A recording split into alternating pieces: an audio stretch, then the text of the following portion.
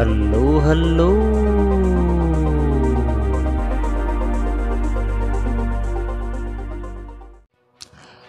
Assalamualaikum and hello, hello. Zaya Stream. Okey, so bertemu kembali bersama dengan saya Zairul Asmawi aka Broza yang akan membincangkan hal-hal pemotoran khusus untuk anda.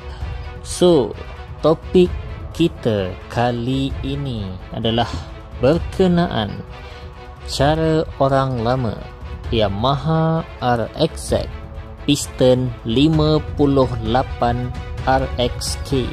So, want to know more? Stay tuned with Zaya Stream. Okay, so saya masih lagi dalam keadaan yang orang kata dalam keadaan busy. So basically recording dalam keadaan yang standard yang mana nampak wajah saya bercakap depan kamera tak dapat saya lakukan untuk saat-saat yang sekarang tapi still saya rasa konten yang asli masih lagi boleh dihasilkan untuk anda-anda dengan cara menghasilkan konten ala-ala macam suatu kemunculan Zaya Stream dalam persada YouTube pada peringkat awal dulu. Okey, so Yamaha RXZ cara orang lama piston 58 RXK. Okey, so kalau zaman-zaman orang kata 5 tahun, 8 tahun yang dulu, cara ni memang cara yang orang kata apa agak famous. Dan kalau nak katakan ramai yang buat tidak juga. Sebab apa? Pertama sekali pengubah suaian yang saya nyatakan ini dia sebenarnya sedikit sebanyak telah meningkatkan tahap fuel consumption yang mana pada zaman dulu minyak orang kata motor yang standard pun memang minyaknya rata-rata kuat makan. Ha, dia bukan mempunyai dia tak mempunyai efisiensi sebagaimana motosikal-motosikal yang sekarang. Okey tapi kalau kita tengok akhir-akhir ni dia dah jadi satu trend untuk sebuah motosikal itu menggunakan piston yang lebih besar daripada standard okey Yamaha RXZ kalau kita tengok dalam keadaan standard bow dan stroke-nya dalam keadaan standard adalah 56 untuk saiz piston dan 54 untuk saiz stroke ataupun lejang. Okey, sebenarnya kalau kita tengok saiz ni dah pun kita kategorikan sebagai over square yang mana saiz piston lebih besar daripada stroke dan secara detailnya adalah piston mempunyai saiz yang lebih besar sebanyak 2 mm berbanding dengan pergerakan piston itu ke atas dan ke bawah. Okey, perbezaan 2 mm.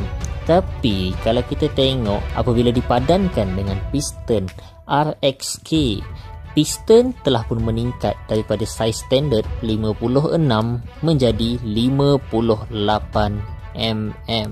Okey, so saya ada dapat juga beberapa soalan yang bertanya, dia orang kata macam ni. Okey bang, sebenarnya kalau kita upgrade block ha ataupun kita tukar piston yang lebih besar, adakah kita kena tukar piston? Ha, saya rasa soalan dia memang agak pelik lah. Mungkin sebenarnya saya anggaplah soalan-soalan tu datang daripada mereka-mereka yang ingin tahu tapi sebenarnya belum ada lagi basic tentang pemotoran. Okay, so basically sebenarnya bila kita naikkan size piston, memang kita akan tukar piston kepada piston yang lebih besar. Sebab apa? Buat masa ni belum ada lagi foundry-foundry yang gunakan piston standard dan dilebarkan. Setakat ni belum ada sebab apa.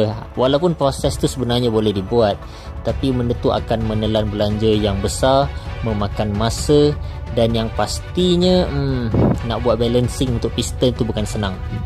So mudahnya beli saja piston yang baru yang lebih besar. Ok so piston Yamaha RXK ni kalau kita tengok memang dia saiz 58 walaupun sisi yang dihasilkan hasil daripada kombinasi bow and stroke RXK ni hanyalah 132 saja Ha, memang betul piston dia saiz 58. Okey, cuma perbezaan dia adalah stroke-nya lebih pendek. 50 mm. Dia macam motosikal-motosikal keluaran Yamaha yang mana bersisiran 110 dan ke bawah. Ha, 110 dan ke bawah yang mana stroke-nya sangat pendek. So Yamaha RXK ni juga pernahlah satu ketika dahulu dikatakan ianya antara model keluaran Yamaha yang diharamkan. Ha, diharamkan penggunaannya adalah kerana sebab motosikal ni dia macam overspec. Ha, pada ketika tu motosikal-motosikal tak laju mana tapi Yamaha RXK ni terlampau laju pada ketika itu. Ok so kalau kita cakap tentang laju cerita pasal motor-motor dua lejang ni bukanlah kekuatan top ataupun pickup yang melampau yang menjadi cerita orang-orang pada ketika dululah yang pastinya sebab apa? Motosikal dua lejang ni ianya lebih dikenali dengan uh, sebuah motosikal yang memerlukan putaran RPM yang agak tinggi untuk kita merasai kekuatan. Dia punya peak power ataupun power curve dia. Ha, curve tertinggi dia akan berada di RPM yang agak tinggi. Ha, itu secara basicnya untuk motosikal dua lejang.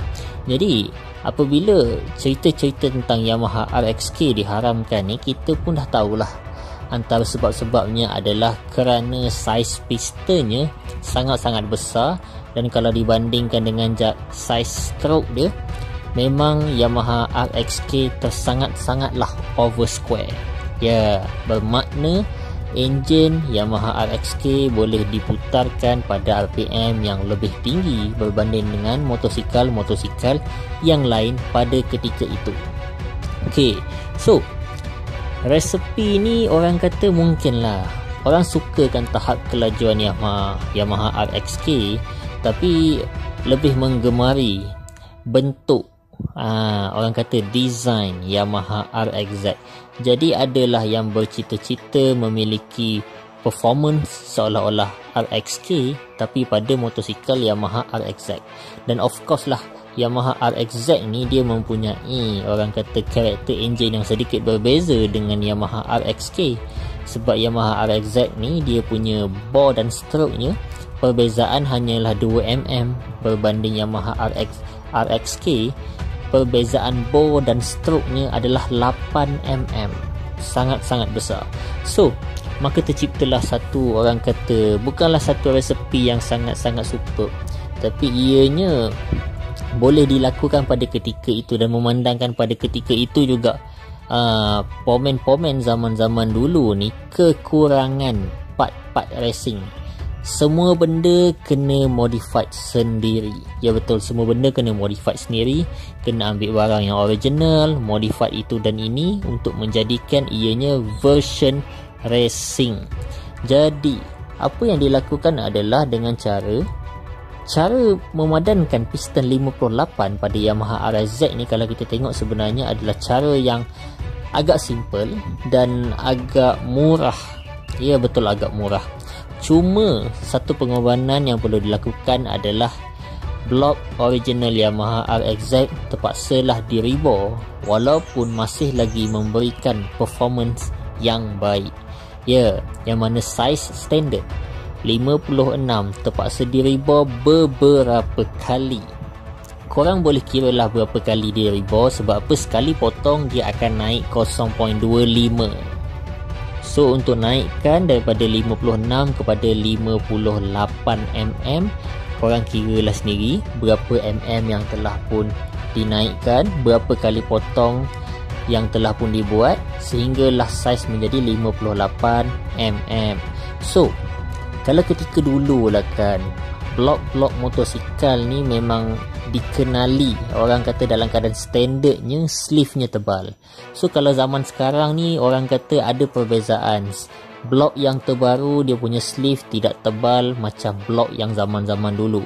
So saya yakin orang-orang orang kata apa yang menonton pun sendiri tentu ada maklumat tentang ni boleh share di ruang komen sebab apa? Apa yang saya faham blok-blok model Y1 dengan Y2 antara model-model yang mana sleeve-nya agak tebal dan bloknya agak berat berbanding dengan blok-blok yang terbaru yang mana dia punya sleeve agak nipis. So boleh sharekan di ruang komen sebab apa? Saya pun belum berkesempatan untuk membuka ataupun review semua jenis model-model Yamaha RXZ ni almaklumlah RXZ ni bukanlah motosikal biasa-biasa golongan bangsawan je boleh beli.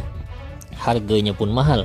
Okay, so Yamaha RXZ ni apabila kita dah buat rebore beberapa kali dan boleh dimasukkan piston 58 Yamaha RXK maka jumlah cc telah pun meningkat berbanding pada asal 133 ataupun 135 Yamaha RXZ ianya telah pun meningkat pada anggaran saya lah lebih kurang.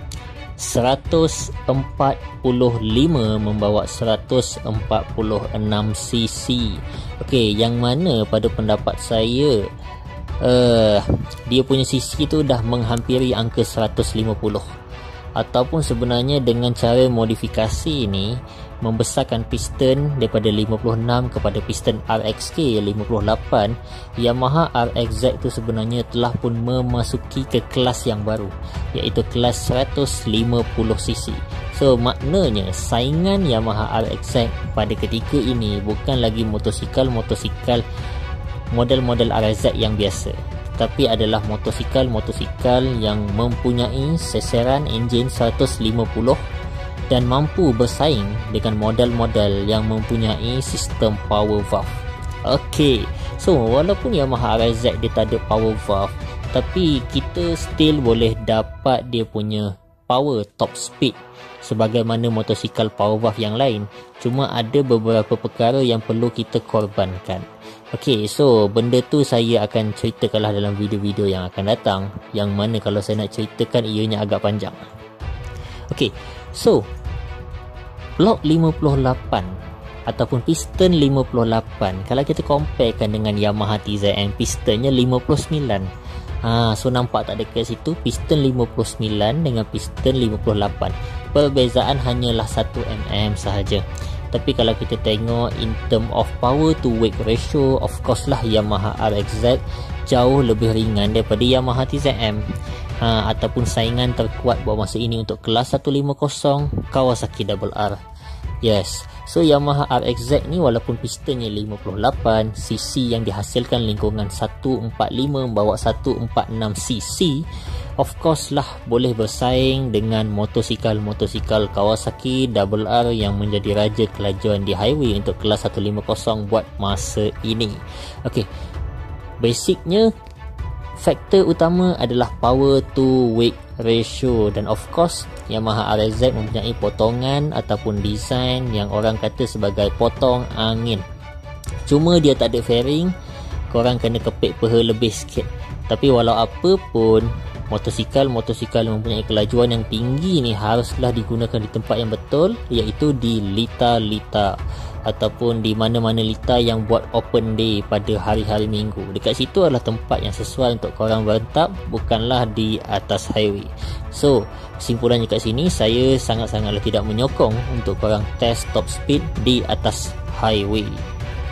Jadi itulah dia. Orang kata tujuan saya buat video ni sebenarnya saya nak menunjukkan bahawa pada zaman yang dahulu orang-orang lama sebenarnya dia dah ada idea untuk produce orang kata more horsepower pada sesebuah motosikal. Menghasilkan tahap uh, tahap production horsepower yang lebih baik daripada keadaan standard. Cumanya orang kata limitation terhadap komponen produk support aftermarket itu sendiri yang menyebabkan sesebuah motosikal tu terpaksa diubah dengan limitation-limitation tertentu. Hanyalah bergantung pada barang-barang original sahaja. Berbanding dengan zaman sekarang kita tengok barang-barang aftermarket tersangat-sangatlah banyak. Tapi still kalau zaman sekarang nak menggunakan piston 58 RXK ianya masih lagi relevan dan ada sebab-sebab kenapa ianya sangat relevan. So kenapa ianya relevan saya akan buat video untuk itu pada akan datang. Uh, cumanya uh, Yamaha RXZ semua sedia maklum bukanlah sebuah motosikal yang murah pada hari ini. So saya tak rasa konten saya kali ini akan menyebabkan ramai orang berpusu-pusu nak beli Yamaha RXZ first sebab Yamaha RXZ mahal kedua sebab sekarang ni dah pun sampai ke zaman 4 lejang yang mana model-model 4 lejang 150cc nampaknya mula menguasai pasaran. Ha, so kita memahami orang kata demografi yang berlaku dekat Malaysia. Ada konsep supply and demand dan dia ada perkara-perkara yang grow yang telah pun develop based on teknologi yang ada. So benda tak ada masalah. So doakan saya ada waktu-waktu yang senggang yang boleh saya sempatkan untuk create video untuk anda. So saya rasa itu saja perkongsian saya pada kali ini. Lebih kepada ingin menceritakan tentang apa itu cara orang lama limitation orang lama kemampuan orang lama. Yamaha RX-Z size 58 so sekian daripada saya Zarul Asmawi aka Brozais hashtag Mat Motor Berjaya. Bye bye